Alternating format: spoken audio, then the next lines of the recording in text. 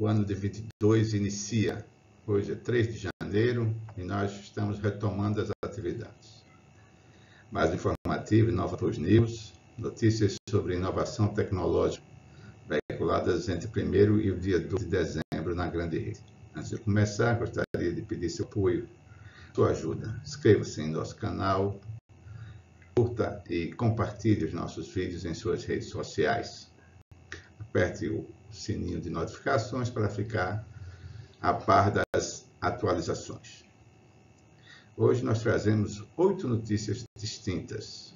Primeira, Grupo TVLAR cria espaço para gerar proximidade com investidores e startups. Especial publicitário TVLAR, g1globo.com. A segunda notícia, Go Contact é premiada por excelência em inovação tecnológica na Espanha. SEGS. A terceira notícia fala, Câmara aprova PEC que retoma benefícios tributários para o setor de tecnologia. Notícias do portal da Câmara dos Deputados. A quarta notícia. Banco Central lança desafio para avaliar casos de uso do real digital. TI Inside Online. A quinta notícia. Estado e o TFPR firmam parceria para fortalecer o ecossistema da inovação. Agência Estadual de Notícias do Paraná. A sexta notícia. Banco Central abre desafio para fazer valer a moeda real digital. Desta feita no site Convergência, Convergência Digital. A sétima notícia: cinco tendências que devem transformar o setor automotivo nos próximos anos. Mafre no g1globo.com. E a oitava notícia: Capacete Elmo, pedido de registro de marca aprovado pelo INPI, Governo do Estado do Ceará, ceará.gov.br. O Grupo TV Lar, atuante há 57 anos no varejo de eletromóveis, material de construção e concessionárias de motocicletas e motores náuticos da Yamaha, com 90 lojas distribuídas em cidades de Amazonas e Roraima, além do shopping Manaus Plaza, com mais de 100 lojas, em segmentos de comércio, alimentação, lazer, serviços e fluxo mensal de 750 mil visitantes, está ampliando seus horizontes.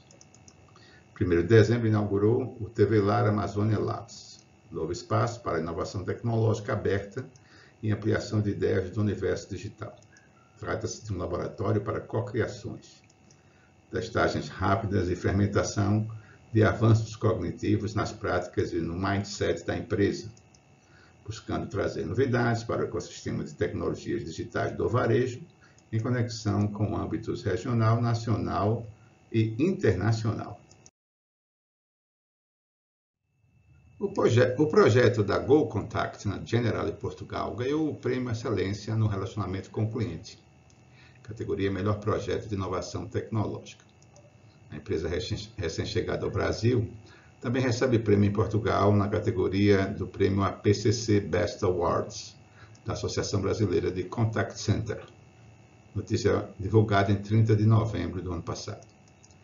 A Go Contact, fornecedora internacional de soluções de Contact Center as a Service, CCAAS, com recursos integrados de omnicanalidade e inteligência artificial, com mais de 10 anos neste mercado e recém-chegada ao Brasil, foi premiada na Espanha por sua excelência em inovação tecnológica. O Projeto de Excelência 2021 reconheceu como o melhor projeto de inovação tecnológica o Case ASR de linguagem natural da Go Contact, implementado na Generali Portugal, grupo onde a eficiência do serviço frente às necessidades do cliente é o grande diferencial. A Câmara dos Deputados aprovou terça-feira, dia 30 de novembro, em dois turnos de votação, a proposta de emenda à Constituição, PEC 10-21, que exclui da política gradual de desonerações dos incentivos e benefícios fiscais e tributários para empresas de tecnologia da informação e comunicação, chamadas TICs, e também de semicondutores.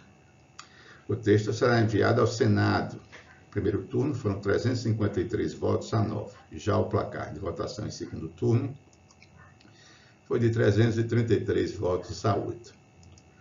A votação da PEC foi parte de um acordo para aprovar, aprovar a emenda constitucional 109 em vigor desde março, que instituiu a política de desonerações. A emenda determina ao presidente da República apresentar ao Congresso um plano de redução gradual no montante de 10% anuais, para que, ao fim de oito anos, somente o máximo de 2% do produto interno bruto, PIB, seja usado como renúncia de receita para incentivos e benefícios tributários. Nosso comentário. Cortar a receita do Estado não é de bom alvitre. Mas não ter investimentos, não ter empreendimentos, não ter indústrias, não ter desenvolvimento de TIC, não haverá receita alguma. A meu ver, não é o melhor caminho. Essa história de neoliberalismo e cortar investimentos, principalmente em tecnologia de desafio do Real Digital. O Lift Challenger Real Digital tem o objetivo de avaliar casos de uso de uma moeda digital emitida pelo Banco Central do Brasil, o BC. O Real Digital, no caso, bem como sua viabilidade tecnológica. A nova versão do Laboratório de Pesquisa Aplicada foi lançada na terça-feira, 30 de novembro, pelo presidente do Banco Central, Roberto Campos Neto, no último webinar da série promovida pelo Banco Central para discutir a potencial criação de uma moeda digital. O Lift Challenge Real Digital será configurado como um ambiente colaborativo virtual, ao reunir um público maduro de instituições de pagamento, bancos, fintechs e empresas de tecnologia. Realizados pela Federação Nacional de Associação dos Servidores do Banco Central, FENASBAC, em parcerias com o Banco Central, esses desafios agrupam participantes do mercado interessados em desenvolver um produto minimamente viável, o famoso MVP do inglês Minimum Viable Product, para o desenvolvimento de soluções inovadoras que beneficiem a população e o funcionamento do sistema financeiro. Bom, minha opinião é que tecnologia tem que estar sempre à frente. Mas nós temos um país cuja população, cujos investimentos não estão para e passo com, por exemplo, a evolução da nossa moeda digital.